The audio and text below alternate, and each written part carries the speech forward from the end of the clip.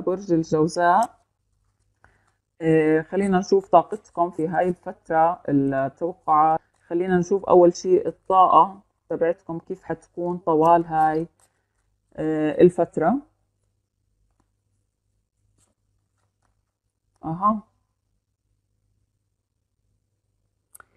آه، شوف يا برج الجوزاء عم بتكون في قدامك في في شخص يمكن عم بخوفك خاصة يمكن في العمل في في العاطفة من الأصدقاء آه، عم بخوفك أو عم بيكون متسلط أو كلامه جارح أو من هاي النوعية. آه، فاللي عم بشوف طاقتك في هاي الشهر كل الشهر عم بتركز على هذا الموضوع إنك تحجم هذا الشخص إنك عم بتحط له حدود إنك آه، عم بتفكر كيف ممكن تتعامل مع هذا الشخص لأنه شخص مثل سايكو شخص غريب الأطوار آه، بحب لك الشر ما بحبك آه، عم بتفكر طول الفترة أو عم بتكون مش خايف يعني عم بتكون آه، بدك تتخلص من هذا الشخص وفعلا رح تتخلص منه.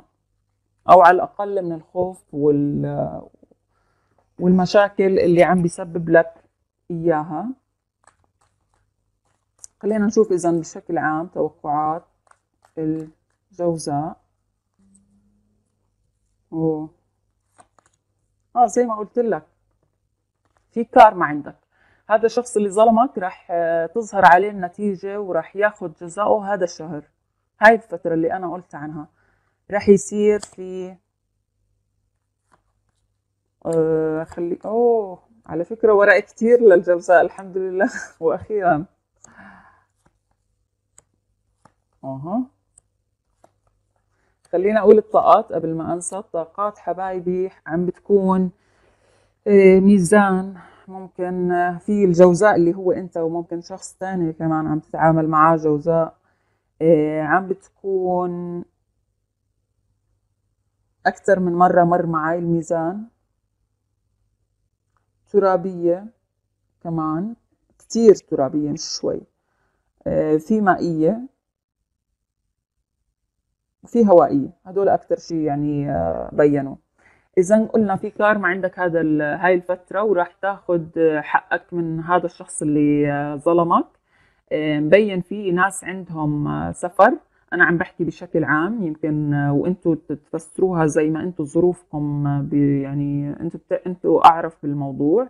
وقراءة عامة ما بتنطبق على الكل. إذا حكيت عن مواضيع عاطفية ممكن تكون عكسية. أنتم بتعرفوا هذا الموضوع. بالنسبة للسفر ممكن جدا إنه برج الجوزاء هاي الفترة آه، يسافر. في عنده سفر ولكن آه، مع أشخاص مش وحيد آه، على الأقل شخص واحد ممكن يكون معاه. في رجوع من شخص في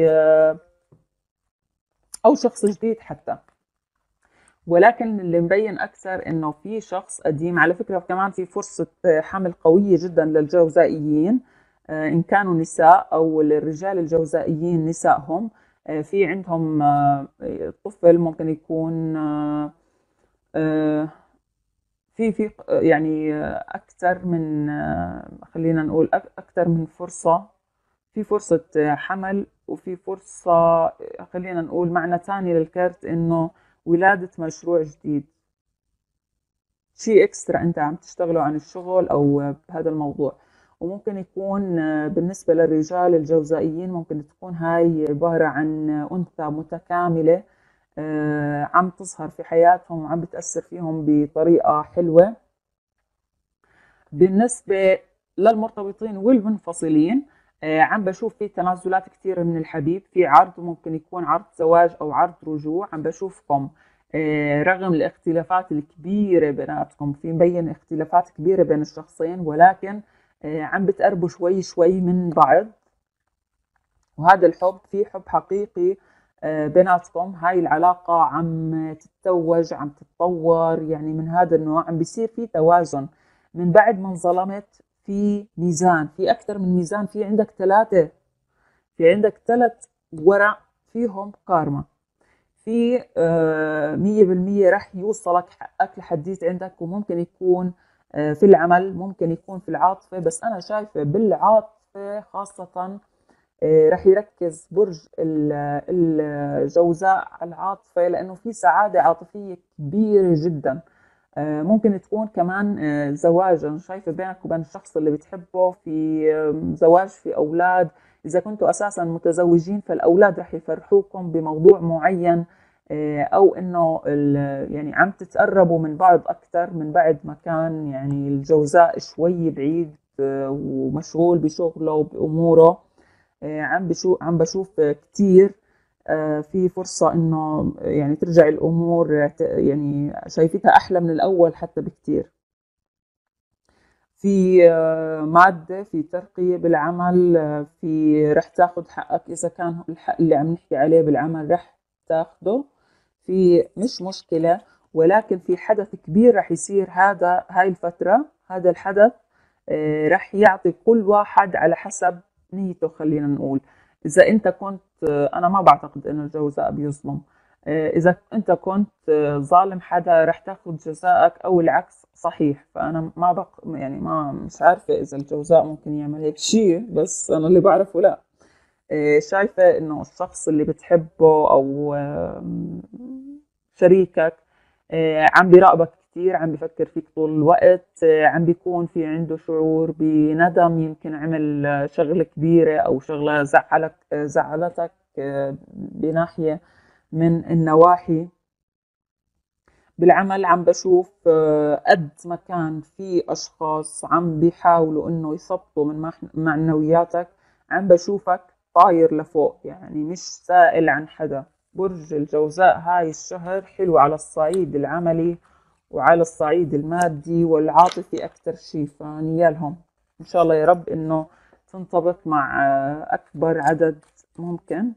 خلينا نشوف أكثر على العاطفة.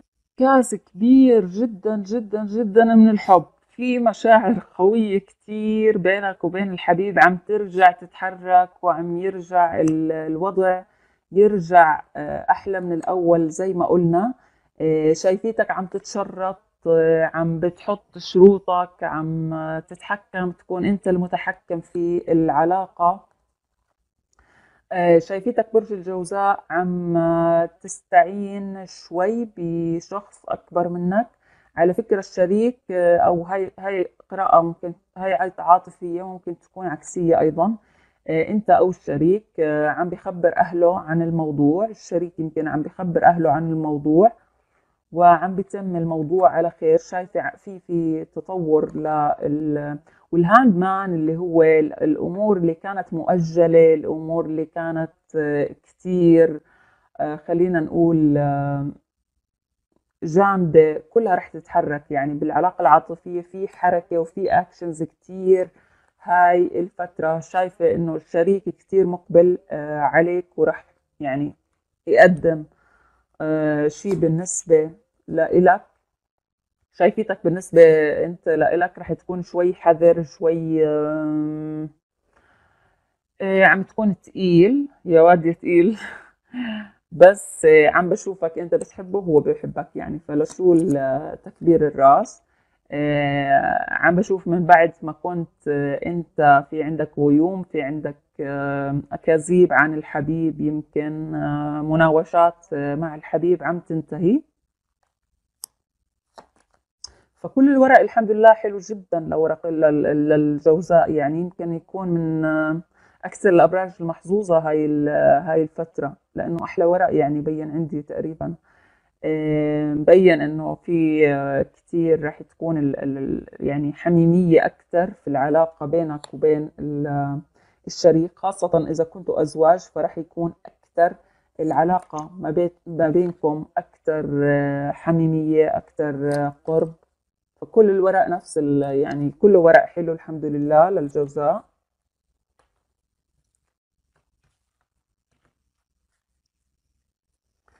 خلينا نشوف عقلك الباطني يا جوزاء. شو عم بيقول لك هاي الفترة؟ أو عم على شو عم بتركز أكثر شيء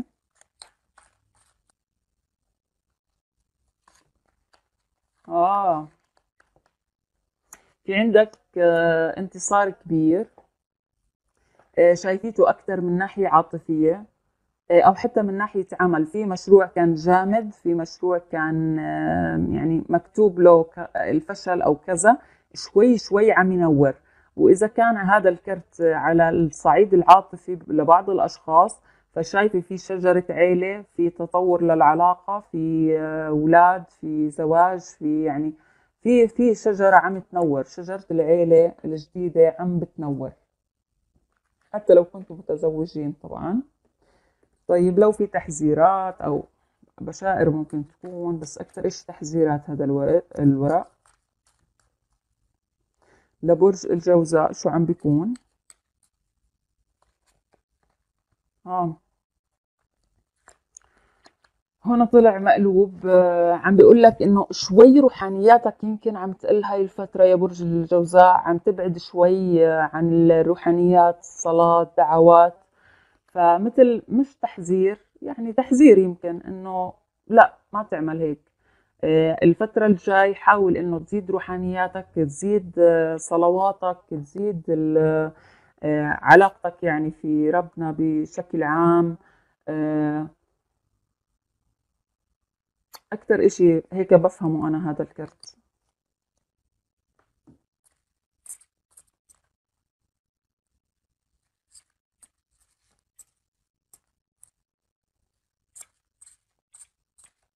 هدول الكروت أنا كتير بحبهم.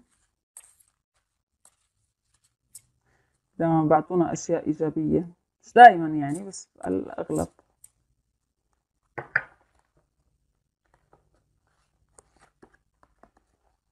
أوه وش؟ بيقول لك اتمنى. بيقول لك اتمنى أي إشي هاي الفترة آه وتخيله فرح يصير. وكأنه عم بحكي لك في أمنية رح تتحقق هاي الفترة فاطلب واتمنى زي ما بقول لك. فكرت جدا جميل. يعني بكمل قراءتنا وبكمل الأمور اللي حكيناها. شوف كمان نصائح. من الأنجلز.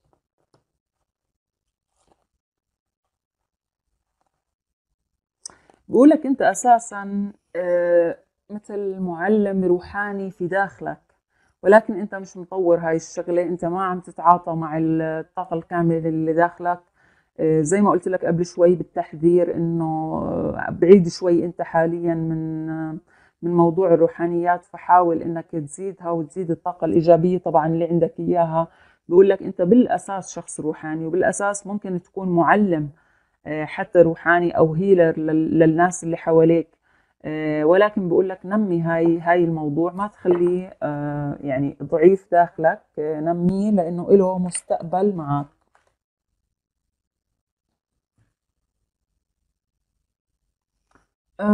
بقول لك ارجع طفل. اطلع من الطاقة اللي أنت فيها الزعل والنكد والكذا. بيقول لك آه، هاي الفترة كتير رح تكون حلوة ف ارجع طفل ارجع استمتع بالأمور اللي كنت تستمتع فيها زمان. آه، مبين برج الجوزاء شوي من كتر التجارب السلبية اللي عاشها بالفترات الماضية. آه، صار حتى الأشياء اللي كان يستمتع فيها بطل يستمتع فيها. فبيقول لك لا رجع حالك لجوزاء القديم لانت شخصك القديم لشخصيتك القديمة هي الصح. فبيقول لك ما تتغير ما تخليك طفل من جواتك أنت أساسا طفل. آه، فبس عم بيقول لك إنه ترجع تستمتع بالأمور اللي آه، وتعطي وقت لنفسك. يعني مش كله شغل واهتمام بالآخرين تعطي وقت أكثر لنفسك. تحب حالك أكثر